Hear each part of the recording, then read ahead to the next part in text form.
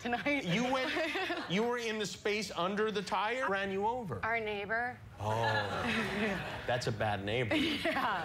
Isn't it though? But it turned out you were fine and your mom didn't even take you to the doctor.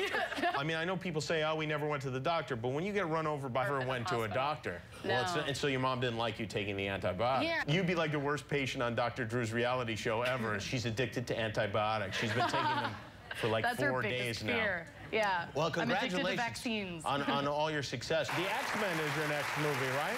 yes, excellent. You will have, soon have superpowers. And the X-Men, who do you play version of Mystique? Of Rebecca Romijn, yeah. Oh, how about that? So you're covered with paint? Yeah.